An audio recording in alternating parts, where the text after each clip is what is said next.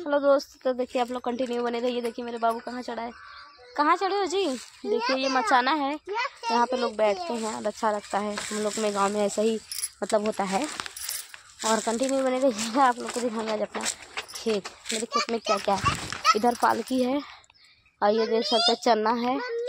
और ये मेरा खेत है, सब देख सकते हैं। ये सब मेरा खेत है। और हम आए हैं खेत पे घूमने। मेरा बाबू देखो कहाँ चढ़ा है। कहाँ चढ़े हो जी? अच्छा लगता है यहाँ? बहुत अच्छा लगता है मेरे बेटू बेटू को। और चना तो है लेकिन हम चटनी पीस के नहीं लाए हम क्या करें? बहुत पछतावा हो रहा है हमको। आप लोग भी चना खाएँगे? देखिए देखिए कितना प्यारा प्यारा सा चना है। हम भी खाएँगे इसको थोड़ा सा खोट के क्योंकि मुझे बहुत अच्छा लगता है। और मेरा खेत है आगे। ये भी मेरा खेत ही है और इसमें मैं चना भी खा ले रही हूँ। और पालकी भी खोट ले रही दोनों काम कर रही है।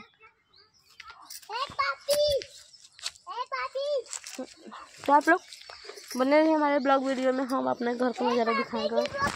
हम मेरा खेत है काफ़ी बड़ा।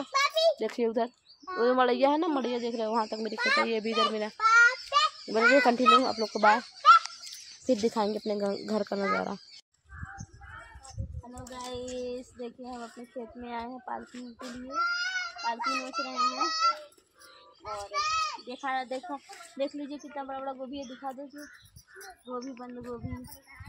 और किसको किसको ये खाना है?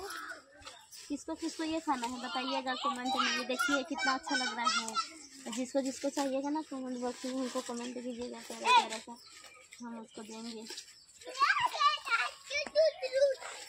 जा जा। हाँ।